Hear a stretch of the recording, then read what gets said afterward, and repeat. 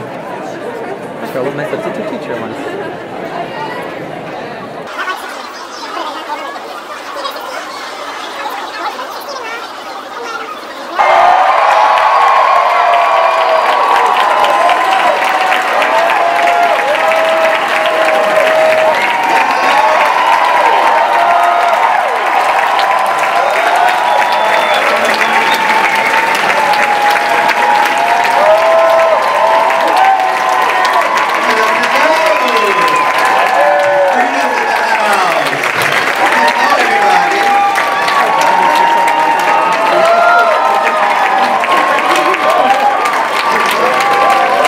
Wonderful, I love it. Well, welcome everyone. Look at everybody's in the house tonight. It's you. Well, I just want to welcome everybody to the first RuPaul's DragCon. How about that?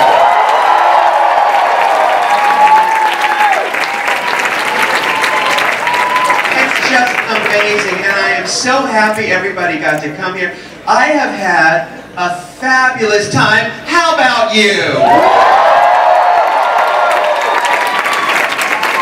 It's been a blast. You know, a minute ago we were down, we were walking underground to get here, somebody said, "Does anybody have eyes on Big Freedia?" I busted a nut. I- I- How often do you get to hear somebody, "Does anybody have eyes on Big Freedia?"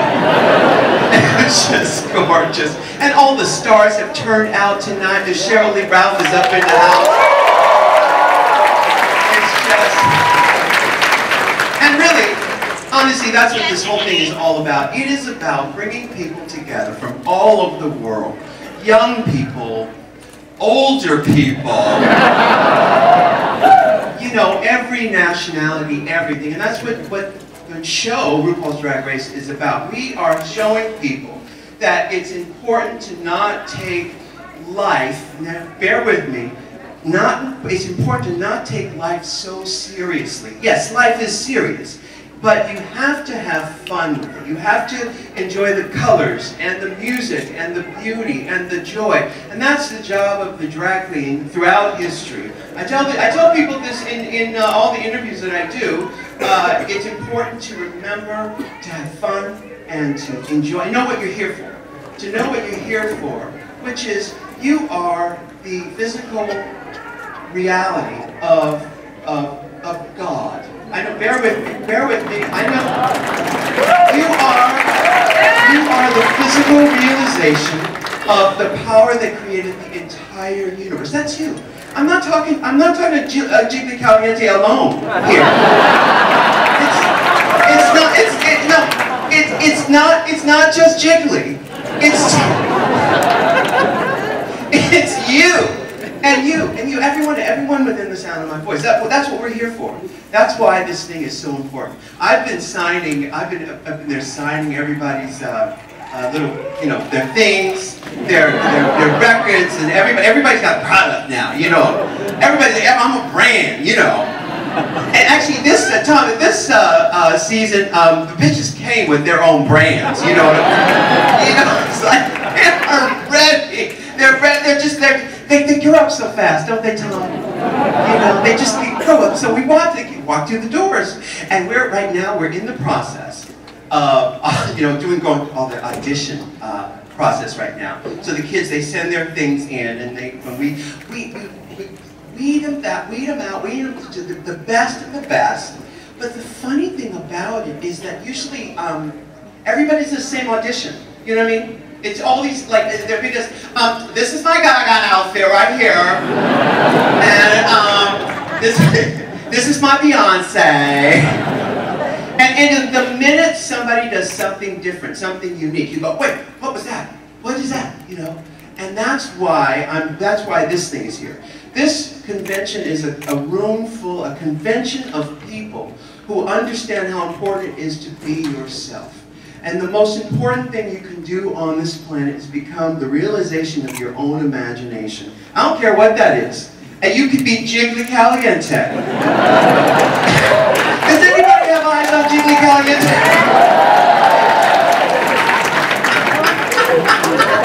Caliente?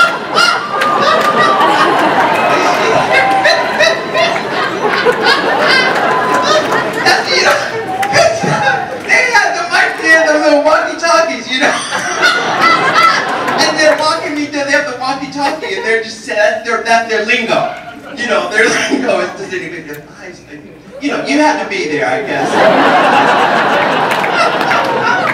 but you have to find that joy where you can. That's why RuPaul's DragCon, first one, is.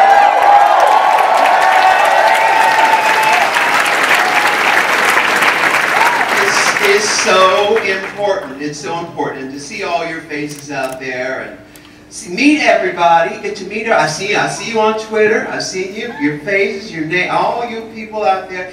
And the big news here is that you see each other on Twitter, but you, this time you get to meet each other in person like this. You get to put a face with the name and connect. And I'm just excited for the sort of ripple effect this is going to have in pop culture for years to come. This, this convergence of people who love color and beauty and and everything. Oh, Tony's walking. Do you have, do you have eyes on? You have eyes on somebody? Tony. She, uh, you know, I want the interpreter up on the stage. You, would you put your chair up here? Yeah, come on up here Yes, and you got those green shoes on and everything. Before you get in the chair, I want you to do a little walk for me. Can you do a little walk? I'll show you how to do it first. This is what I want you. We don't a lot of space here, but pretend like you can walk, I want you to walk this way, but keep your head turned like this. So that, you know, I'll show you how to do it. I want you to walk like this.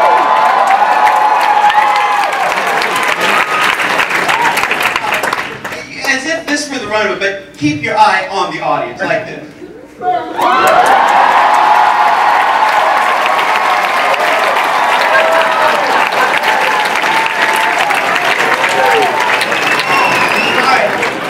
Gorgeous legs, my God. You were born to do this, you realize that, right? Okay, so um, go ahead on three. Now, sissy that walk.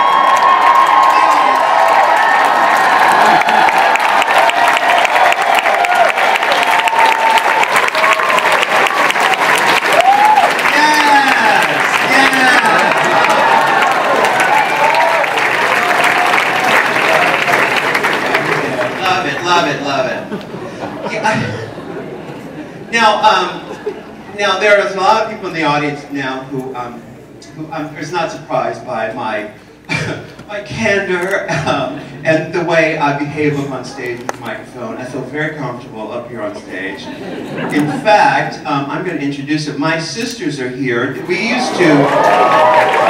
Well, the truth is, of course, we are all family here, but my sisters are here. I'm going to get them to stand up, but you know, they're used to, when I was a little bit drag queen growing up in San Diego, find my light for this one. I, I I, would put on shows. I, I was just a special child. Let's just put it that way. And, uh, and I'm sure a lot of you can relate to this, but they were very supportive of me. Actually, I don't, I don't want to even say the word supportive. There was never really an issue with little Ruru putting on dresses or colors or, you know, putting on shows, and, and, there was never an issue with that. And I want to thank them for that. And I'm going to get them to stand. My sisters, Rosie and Renetta, are here. Stand up, Rosie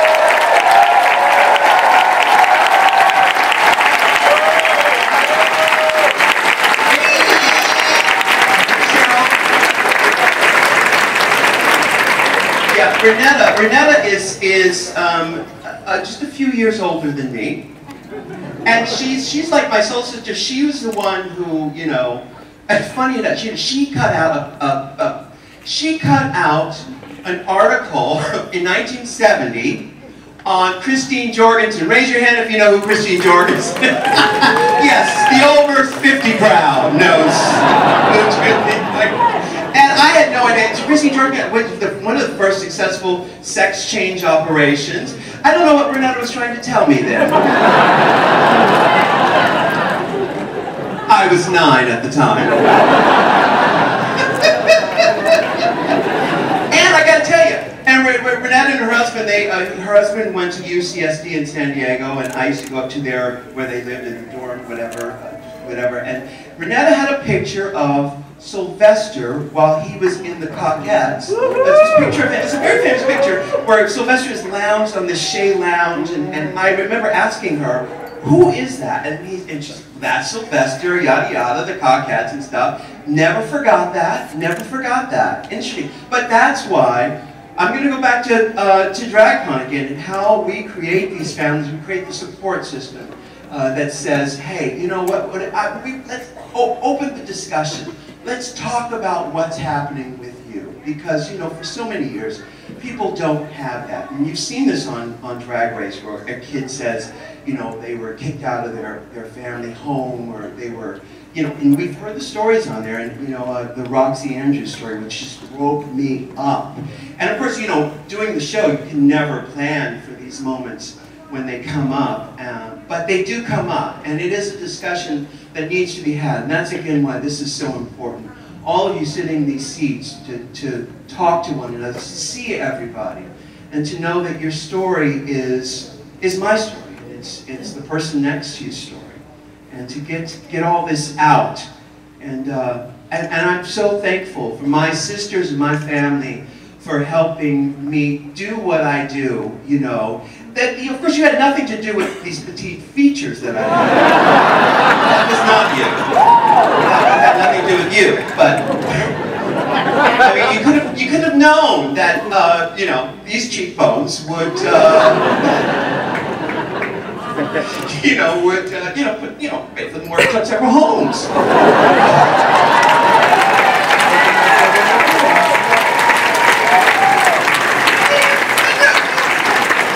Way of knowing that. Just that maybe you need sex change. I don't know. no, but it's great. And, that's, and again, I, that's what I'm. That's what I'm wanted to talk about tonight. It's just the family and creating a family, and and not only that. And as a lot of people who, who know me and who've watched me over the years, my thing has been all about loving yourself, loving yourself, and understanding that you are God's gift to this world. Yes, I said God. It's not, it doesn't belong to, it doesn't belong to anybody. It's, it's all our work. It's the word, it's the word we use in, in our language to describe that which cannot be described. And so I'm going to say it loud and proud. You are God's gift to the world.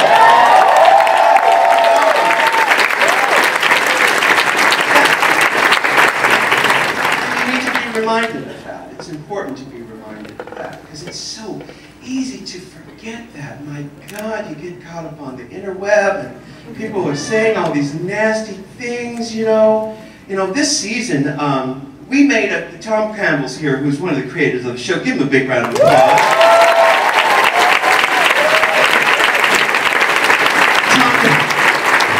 a lot of people don't know this. I'll give you a little insight. When I'm doing, I don't read a teleprompter on the show. Um, I have a earbud in, in my ear. And the person who is speaking to me in my earbud is Tom Campbell right here. And so he will come up with some jokes. He's got other writers who work with him, but he'll come up with some jokes for me to say. Actually, one time, the one time when Alaska was walking down the runway, and she had to make some outfit out of trash, I don't know what the thing was, but she made it out of a plastic trash bag. Remember that? And she was, and she looked gorgeous, and she's sauntering down, and she had this big trash bag with her, and it looked like, you know, um, like, like it was a, a, a, dog poop bag, you know, when you walk the dog thing. And Tom said to me, in my earbud, he said to me, she must have the biggest dog in the world.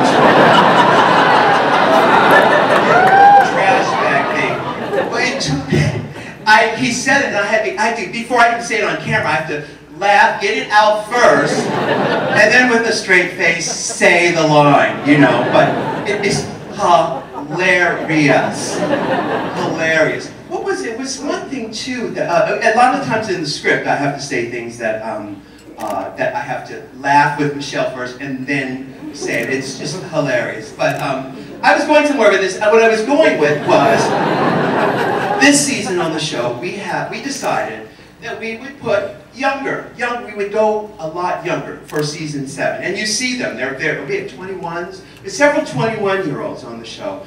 And, And because of that, you know, we've gotten a lot of younger fans on the show.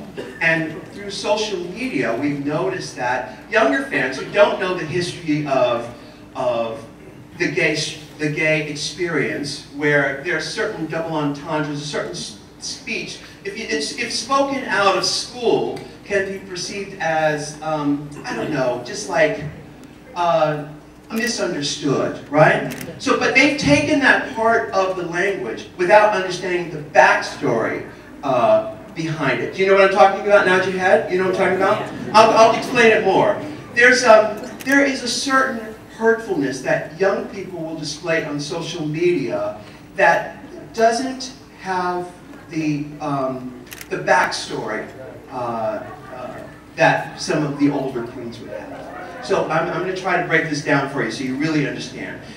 It, where I'm going with this is that it has been an issue and we wanted to address it somehow in our experience with the show. Uh, there's a certain meanness that has been happening that is not in line with the gay experience. You know what I mean?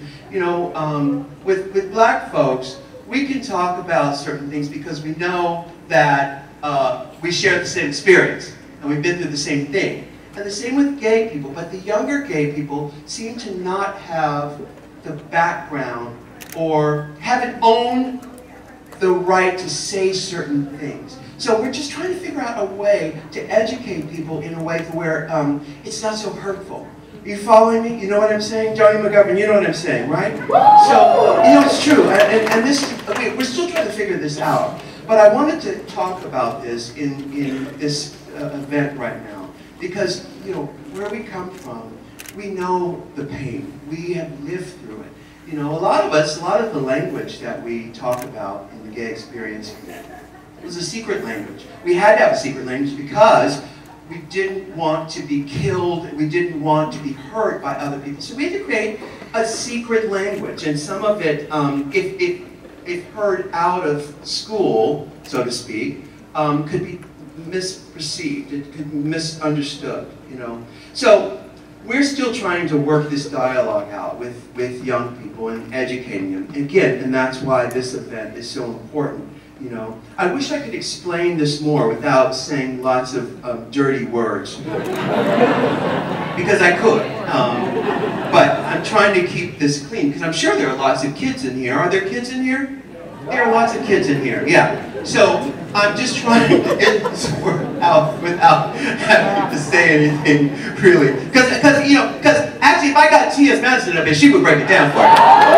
She would, she would break it and T.S. Madison has done a very good job of try, explaining what, I, what I'm talking about, you know, because, um, you know, we come from a long line of people whose, whose blood was spilled to make sure and ensure that we could have this convention here tonight and this weekend.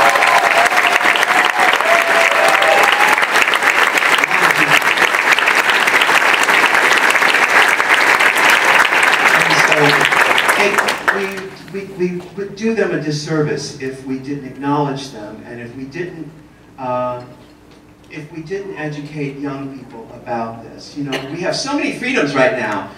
Who, who could have ever imagined the things that we, the freedoms we have right now as not just gay people, but people who think outside the box. And that's what this is all about. People who,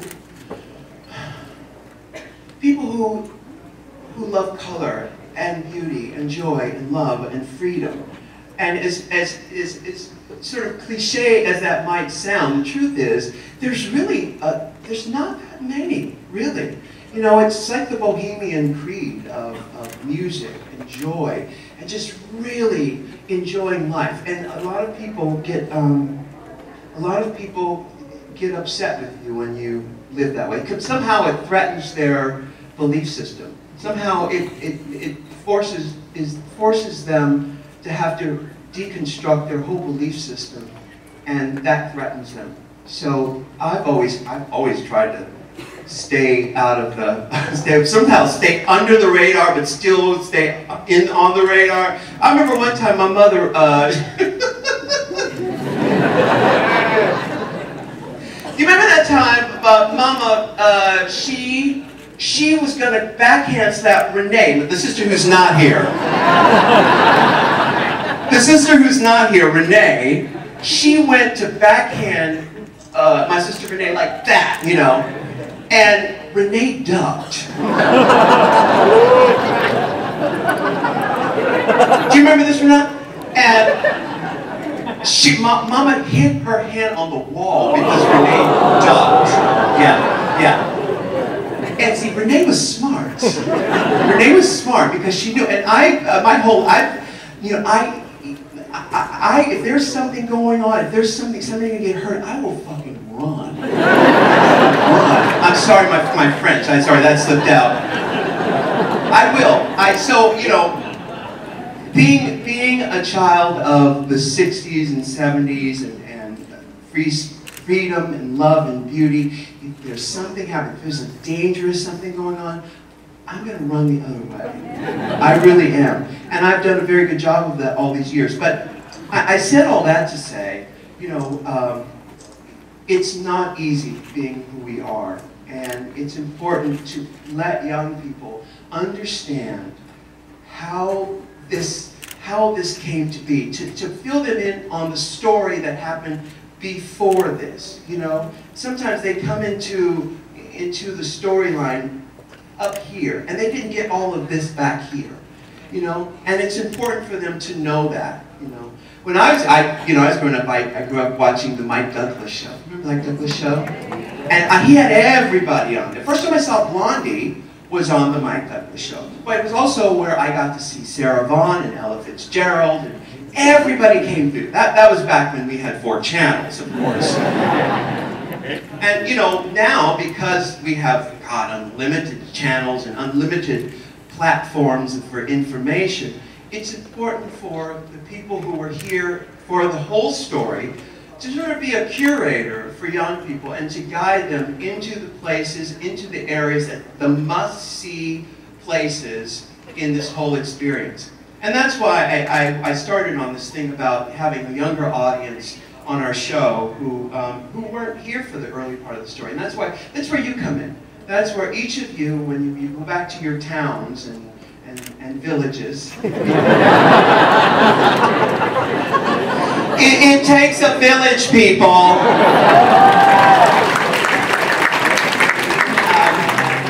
you know, that you, you spread the word. It's your, it's your response. We try to do that on our show. You know, a lot of the things that we talk about on the show, a lot of the things that uh, we, we bring up, child, they are they're old, it's old news, but it's young, it's new to them. It's new to them. We bring up things, I, I you know, I've been in, I've been in gay life for years. I've been in that, but it's not just the gay life. The gay life is, is, is code for every, everything over here, out of the status quo stuff, you know, and which is the most interesting part, actually, you know.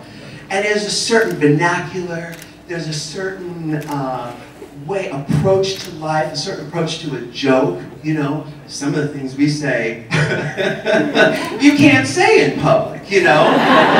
You just can't. People won't understand it, you know.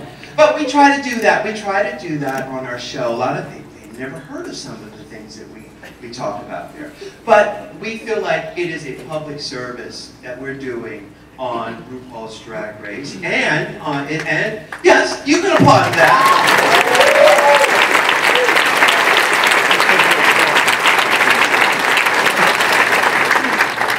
Because you know, uh, uh, and that's an and this this event here is an extension of that. That's what this is all about. You know, I've said it many times that kindness is the new cool. It is the new cool,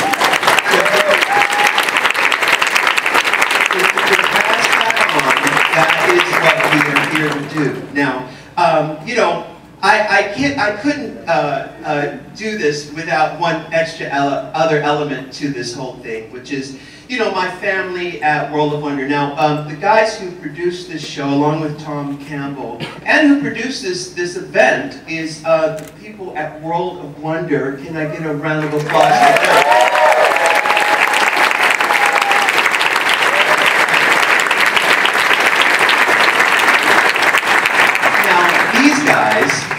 They are um, Randy Barbato and Fenton Bailey. And yes.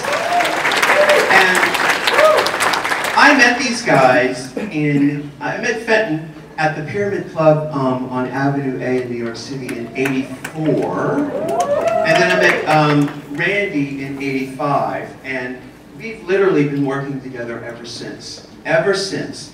And talk about finding your tribe, finding your constituency and your comrades. Uh, that's what this is all about. That's what this event is all about. And I've literally been working with them ever since. I, I can't count. I don't know how many years ago that was, but I know it's a long time. So if this event could serve you in that way, that's great also. Another component of our show is the music, which is so much fun. It doesn't make any money. It doesn't make any money, but we do it because we love it. And the kid who I, who I work with on this, uh, on the music is here. We've done three out, four, I don't know, together. He's here. Lucian Piane, He's stand up. That's Lucian.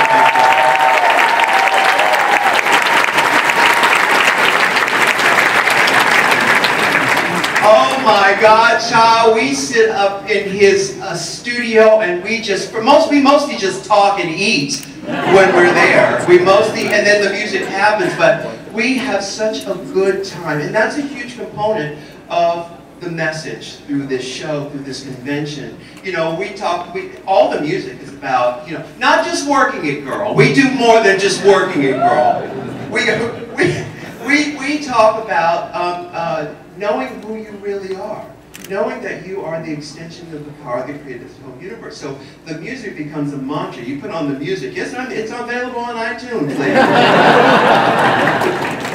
it is an extension of the message, and the message is the magic here. This whole event I'm going to say it again. This whole event is for you to go and spread the word, to spread the gospel of being a lovely child of God. I said it. And being someone who, being someone who is going to, going to spread the word to younger people. Because somehow there was a, there was a void in between the generations where they didn't get the message. And unfortunately, I think you know why that void happened, but we can make up for that right now. We can do that through this event and through the shows and everything that we do actually. You know, we can tell them the story. I had my sister Renetta tell me about Sylvester and, and Mike Douglas who told me about Ella Fitzgerald and Blondie. This is where you come in, everybody within the sound of my voice. You are the curator for this next century, for young people coming up behind you to tell the stories of your brothers and sisters who fought the fight and who spread their, spilled their blood so that we could be sitting here in this room today. And that's what this is all about.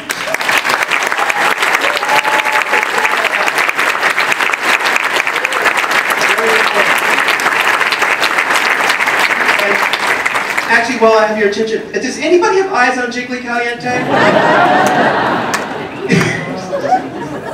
I just, I mean, I, I, think of this whole event, that's what I'm going to remember the most. Anybody have eyes All right, so, am I having any complaints?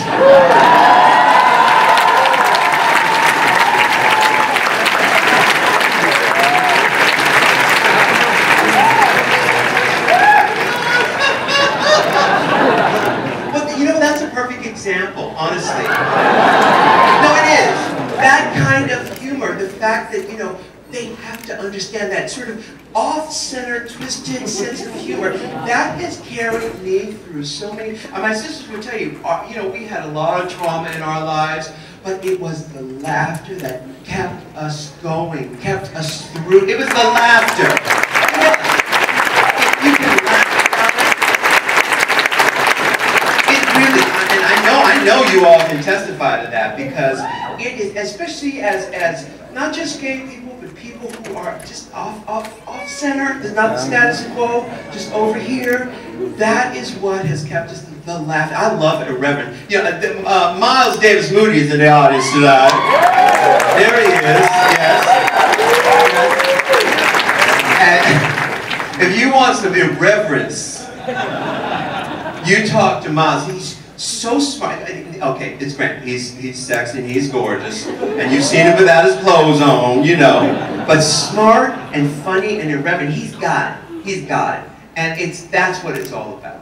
So you you know find somebody who, who can make you laugh. Who, who, again, don't take life so seriously. My great teacher told me that, by the way. Mr. Pinnell, I was going to high school in Atlanta, Georgia, and, and, they think they wanted to pull me out of school just because I wasn't going to classes.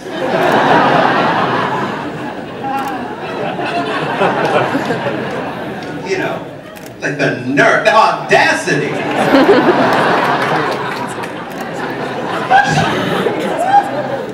So, you know, I was upset because this was, I went to the drama school there and, and that's what I, I went to those classes. I didn't go to the other classes, but he, he was my drama teacher and he said, you know, RuPaul, listen, don't take life too seriously. Now, I didn't know what he meant then, but I want to tell you, I know what he means now. I know what he means now.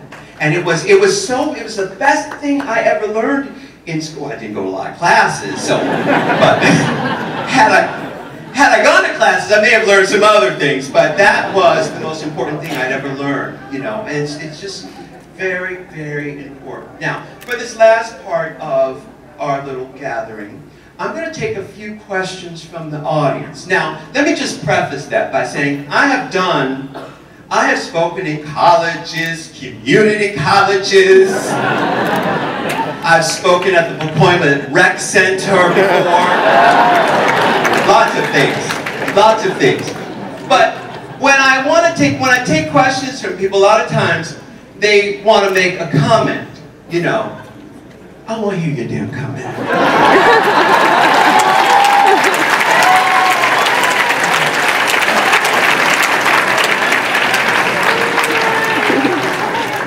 if I wanted to hear, I would go on Reddit.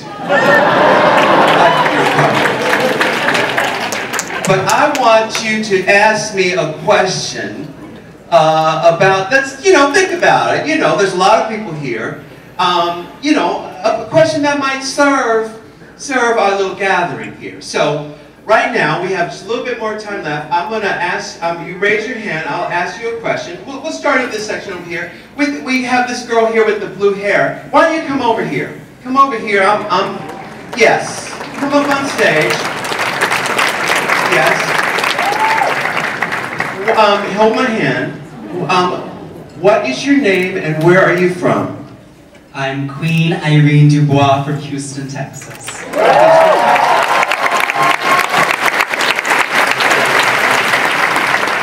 And what is your question non-comment? um, in the context of history, a group of oppressors dressing up in the costume of the oppressed is often taboo, eventually, like white people dressing in blackface.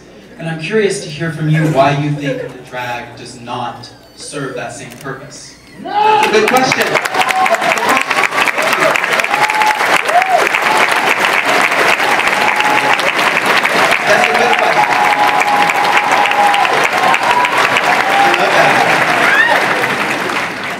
Because this is the thing. It's very difficult for people to legislate intent. You know, your intuition knows intent, but the legislator does not know intent. And with drag, the intent behind it is the same as it has been throughout the ages with shaman and witch doctors and court jesters and all of the people who are there to remind the culture to not take it so seriously.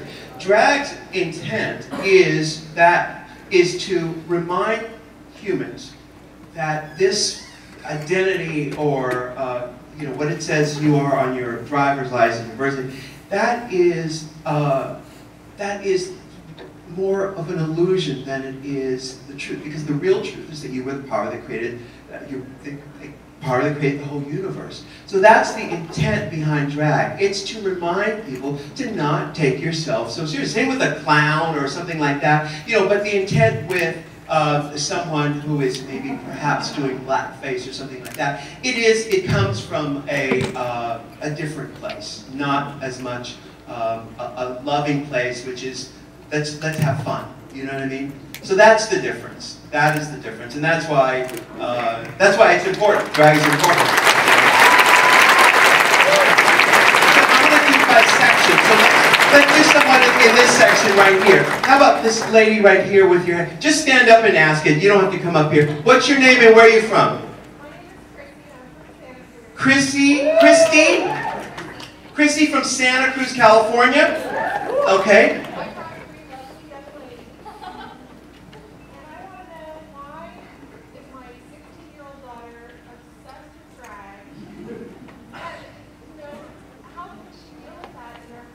Right. She wants to know why. How, why?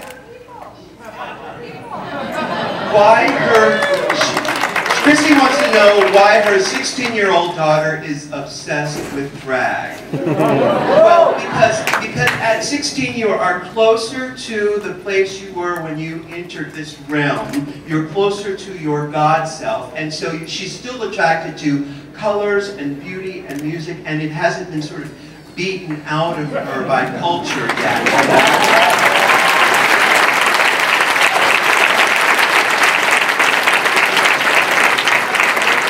Which is why when you when you see a child, when you see a baby uh, in a stroller, and, and they, they, they see a drag queen and they see all the sparkly earrings and the colored hair and the colors and stuff, they can't take their eyes off of it because it is our natural state to, to love beauty and colors and movement and the, the clinkle clankle of some bracelets, you know. That's why she loved, because your daughter is a genius.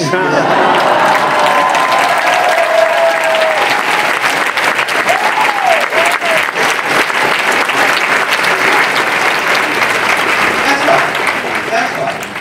All right, so we have a question over here. Okay, you you held your hand very high and you stood up. What's your name? Where are you from? You're Iran. And what's your question? My favorite drag queen. Kia from Iran wants to know who my favorite drag queen. Well, listen, I will tell you. You know, on our show, I don't know the number, Tom, but I think we're almost at a hundred girls who we have come through our show, who's terrorizing y'all's neighborhoods. I think it's almost like either 95, something like that. In fact, the, rea- the finale will be our 100th ep- the, night, uh, the finale on Tuesday will be our 99th episode of RuPaul's Drag Race.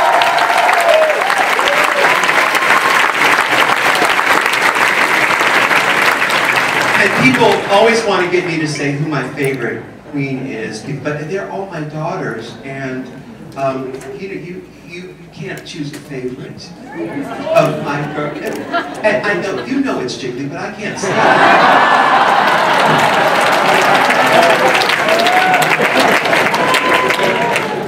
No, I can't. I can't say that when Tyra Sanchez is standing right here.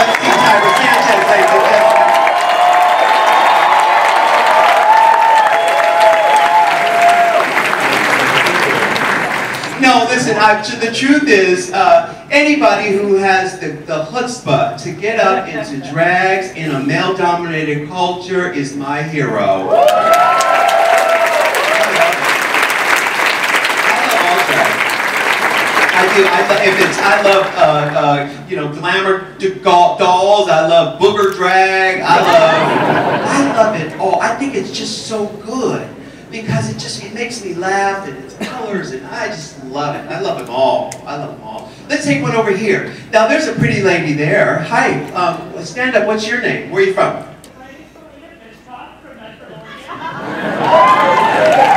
Now, did you say you're from Bedford, Oregon? It's with an M?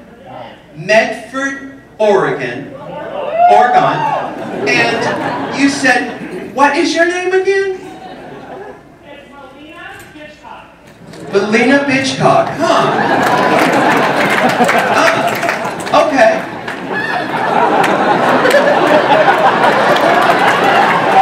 Yeah, no, it's a good name. I love it. I love it.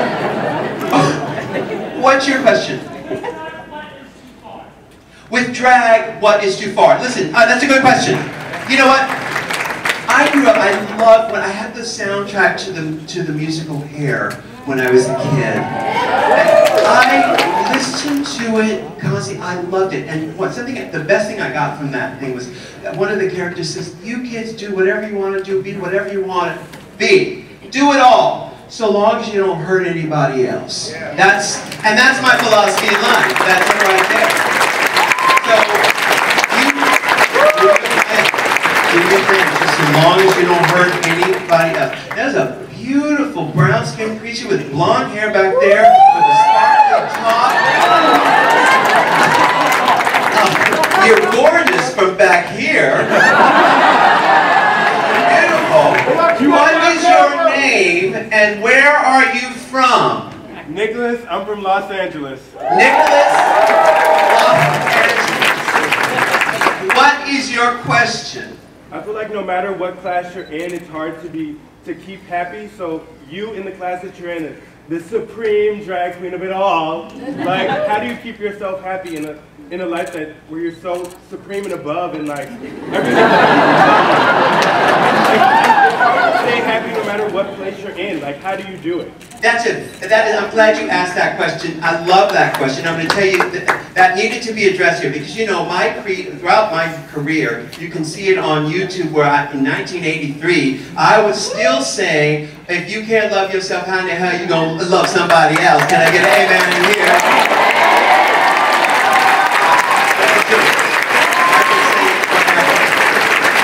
But, you know, and that's cute to say, it always gets a round of applause, but on an everyday basis, it takes practice, ladies and gentlemen. This is, it's cute to say, you, I've seen it on a few t-shirts this evening. but what this really entails, when you take tear this thing apart, what that means is, is daily practice. I'm going to tell you something, this is the truth, and I'm not, I'm not religious. I'm sorry, Renetta. I'm sorry, Rosie. I am not religious, but I tell you what I do. First thing I get out of bed in the morning, I get on my knees and I pray. Now that's that. You can. It doesn't. You don't have to be religious to pray. You and I. I pray to God. That doesn't mean I'm religious, but I tell you what I do, Nicholas from LA. I will get first. I get down there and I stretch my old ass. I do. I do. And I, while I'm down there, I sing a few bars of Swanee. That's not true. That's not, that's not true. I'm not, that's not true. you know, while I'm down there, I will pray, I will meditate, I will, I will take the time to be thankful. I'm, I'm going to tell you what my prayer is. It's very short. I say the same thing, and I'm going to tell you what it is. I'm going to, it's the same thing every day. I say, Dear God, thank you. Thank you for this experience. I say, God, please guide my thoughts, my feelings, and my perception. And I release all resentments to you. Take that away. Amen. Amen. That's what I say every morning. That's what I say. And that covers everything. That covers everything.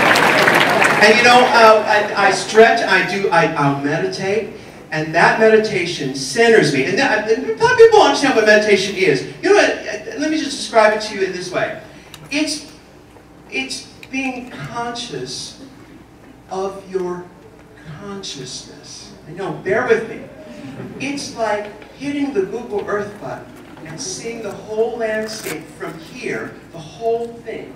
I said, oh yeah, there's the, and that's where I was, and that's where Renee ducked and Mama hit her, right and uh, that's that, oh, that's the whole thing, and this is, uh, I can see the whole landscape from here. Oh, and I can see, I can see it all, and, and and from that, from that vantage point, you don't have to take it that seriously. It's all good. It's all a beautiful gift. So, with that, and that's center, I could do just, uh, you know, uh, five minutes of, of meditation, 30 seconds, just to connect with that center and to, to, to be conscious that I'm just, I'm a conscious being, right?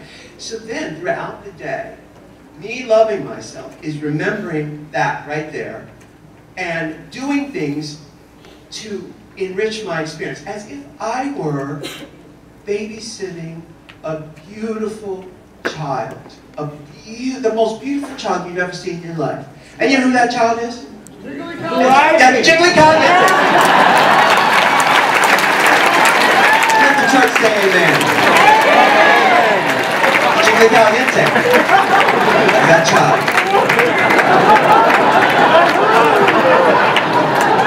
That child is Jiggly Caliente.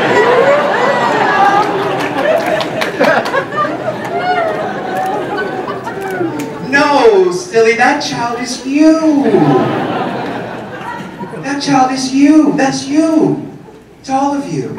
That's how you love yourself on a daily basis. You know, you get all this, you, you watch the, the news and the, the newspapers, all of that is there to support. That we live in a, a, a consumer culture. When you live in a consumer culture, the way the culture thrives is you have to buy stuff. You got to buy a lot of stuff. And you got to buy stuff you don't need. So how are they going to get you to buy things that you don't need? But they have to tell you that you're not whole Uh, until you buy the, you're not really clean unless you're zestfully clean. you know, that's, that's how we do it. So you, ultimately you're going to start, you feel really, really bad about yourself. You, st- you feel really, you feel awful about yourself. You think you got to buy this, you got to buy that, you know. So how do you offset that? You have to take care of yourself. You have to remember that you are the power. You're an extension of the power that created this whole universe, and you have to take care of yourself as if you were babysitting, if, if you were babysitting the most beautiful child.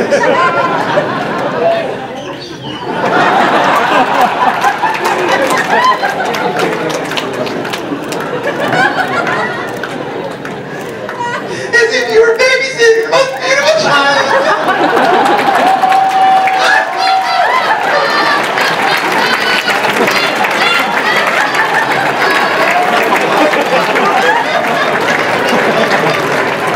Okay. You know, I will tell you one quick story. You know, uh, Renetta here. Yeah, I remember I was probably about I was probably about five, four or five years old. And Renetta, I tell this story on the new album. I don't know if you've heard the new album. It's on iTunes. And, um, Renetta, uh, she she got she got a bag she got a bag of cookies and this this blanket and she um, she laid them out in the backyard. It was actually in the canyon. She laid them out and took the cookies out of the paper bag. She said, "Root, this is a picnic." "I'll never forget it. This is a picnic." I said, "Wow, this is a picnic." You know, to someone else, this would just be, uh, you know, blankets and cookies in a paper bag. You know what I'm saying? But the fact that through this experience, she taught me how to perceive life in a magical way. She taught me how to make magic. And magic and miracles, it, uh, they are a, a, a, a change in your own perception, how you look at it. And part of loving yourself is to know that you are the architect of your life. That's why all drag queens, I love them all, because once you become the realization of your imagination, that is when you are you are your God self. That's when you are taking matters into your own hands. Let the church say amen. And you are creating the life you were meant to live. That's what it's all about. Yeah, people will talk about you. That's all right. They will talk whether you do it or not. But they, you know, but it's like mom used to say, unless they paying your bills, you pay them bitches no mind.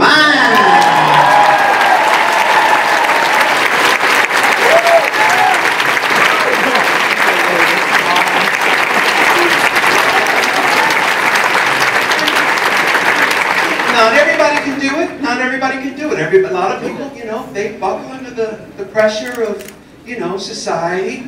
Never been my problem, but, uh, you know, you know. But again, uh, I had a support system that helped with that. In fact, my mother, man, she was, she was, she was punk rock before punk was rock. Well, look who just walked in.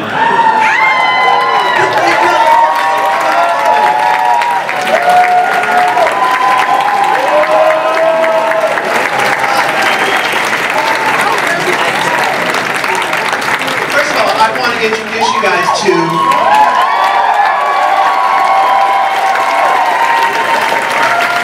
now for for the past 23 years, maybe 24, I don't know. Yes, right after the Second World War. Yeah, the great money. This man has been doing my hair and my makeup and my spiritual adjustments. His name is Mathu Andersen.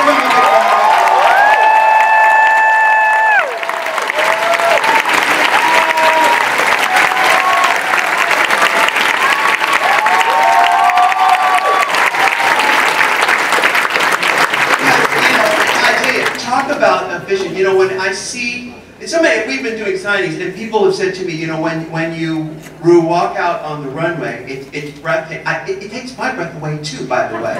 I look at it and I go, you know, I, when he does it, when he does it, my the hair and makeup and, the, and everything, really, um, I can see it, but I don't really see it. I don't really see it until it's on TV. And then I go, oh my God. I gotta tell you, this is the reason why right here, ladies and gentlemen.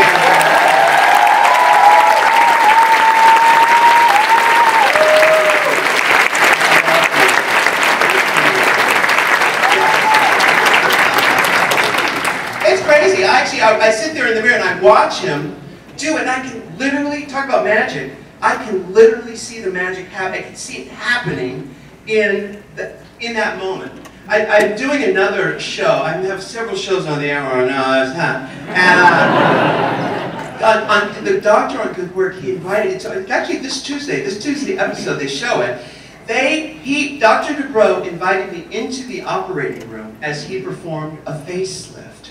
And they didn't, they didn't know how I was going to react. They said, you know, if you, you know, if you feel sick, remember, don't do it that way, not into the patient. And he said, um, uh, if you feel faint, like you might just remember to sort of fall backwards. Well, I get, I throw up, I get in there. There was none of that. And I, it's, it's probably part of my Scorpio nature, but what happened, you know, I got in there and I realized this has nothing to do with me and my, oh, my stars. It, it had nothing to do with that. I got in there. There is a human being, a power, an extension of the power laying on this table. And he's like, we're going to get to work here. He had me sit right, the doctor's here. I'm sitting right here, right here. She, she's cut open and it, it was beautiful. I swear to you, it was the most beautiful thing. Of, it was like watching the, where the flesh and the spirit meet. It was the most beautiful, I swear to you, it's the most beautiful thing I've ever seen in my life. I've had a lot of experiences in this life. It had to be one of the top five experiences I've ever had. Sitting in that operating room while she, and then she came on the show this Tuesday at, uh, what time is it going to be? 10 o'clock on Tuesday on E, everybody. It's, and she comes on the show and she looks gorgeous. And this was just four weeks later. I, listen, I, by the way, I'm obsessed with plastic surgery, in case you hadn't noticed. But um, I haven't had anything. I've had a little filler. I've had several buckets of Botox. it's true. I'm not, I'm not ashamed of. There ain't no shame here. But I, I'm just obsessed with, with procedures and stuff. And, um, you know, anyway, so this, when Mathu does the hair, I can see, it's the same kind of thing. The, um, the um, makeup the magic, I'm watching in the mirror as I can literally see the magic happening in his hands. He is a magician, this one. Crazy, crazy, crazy, crazy. So, okay, what time is it, Joel? We, we gonna wrap this thing up. This is this Mathu's thing right here. He's not going to need this. Here, I'm to give this to you. Right.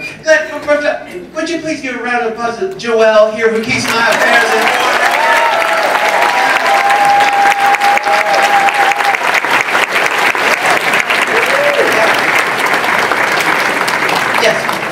Yes. Now, up, coming up next in our program, actually, Mr. Magic himself, Mathu, will be coming up next for the next part of our seminar. And actually, Raja's gonna gonna do the introduction. Raja, come on up. Yes. Look at you. Give her a big round of applause.